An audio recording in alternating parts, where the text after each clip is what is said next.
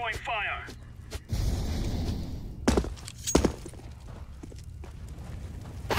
Terrorists win. What the heck is that?